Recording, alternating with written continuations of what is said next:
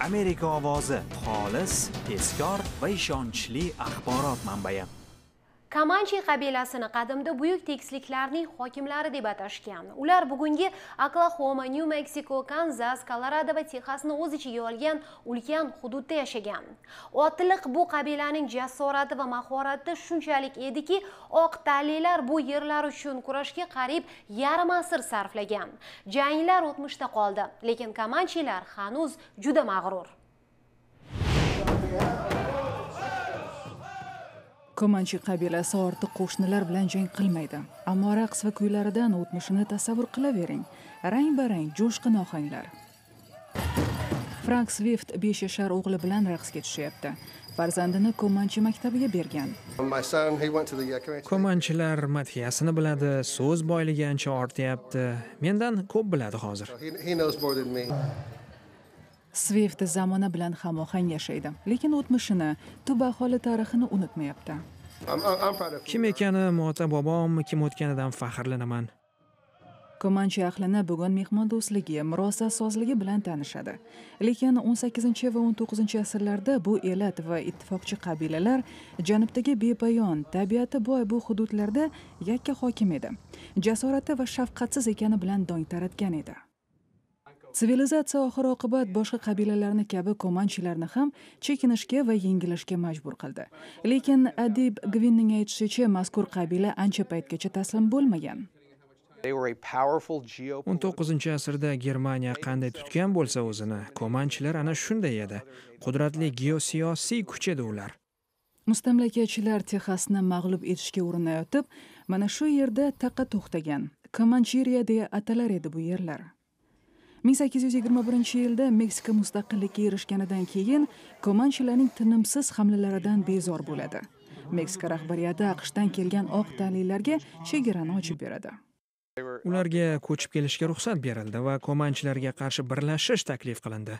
Texaslik jangchilar to'p to'p bo'lib hindular bilan olishar edi. Biroq qabilani 1874 yilda nihoyat aqsh armiyasi hal qiluvchi zarbalar yordamida mag'lub etadi.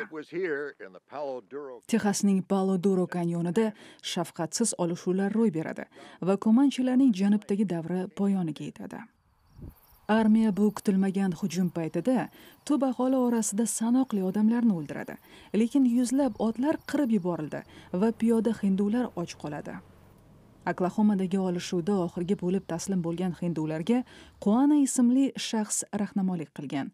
Keyinchalik ayon bo'lishicha u komanchi sarkardasining va asirga tushgan oq tanli ayol sintiya an parkerning farzandi bo'lgan ekan. Bugun quvana parkerning yuzlab avlodlari hamon hayot uni mohir yetakchi deya eslashadi. Odamlarni og'ir damlarda qo'llab tushkunlikka berilmadi.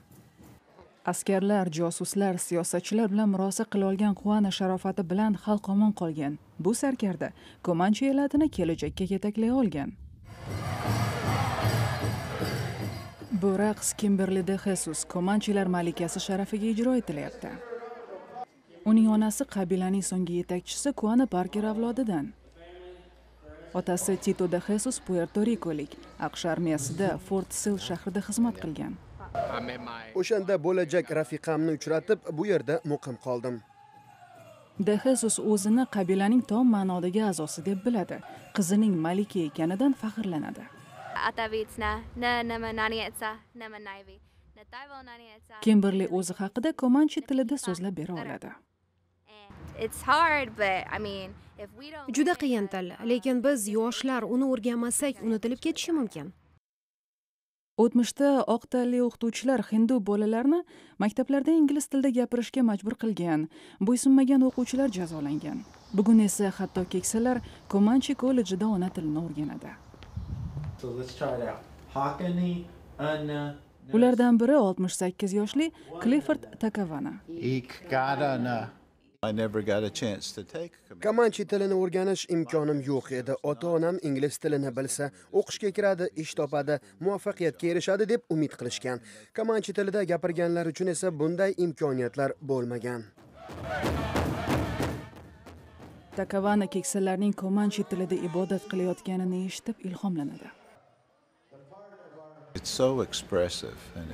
shu qadar go'zal. Boy ma'noli tilki o'rgansangiz butun bir yangi dunyo oldingizda muhayyo bo'ladi. Muallim gaynar komi buvi va buvasi bilan komanchi tilida so'zlab katta bo'lgan. Endi tilni boshqalarga o'rgatyapti. Maxsus o'quv dasturi ham ishlab chiqdi nafaqat amerikada balki butun dunyoda ko'pgina tillar yo'qolib ketish arafasida. Ona tilimni yoshligimdan o'rganib gapirgan tilimni himoya qilish vazifam. Uning yo'qolib ketishiga yo'l qo'yolmayman axir.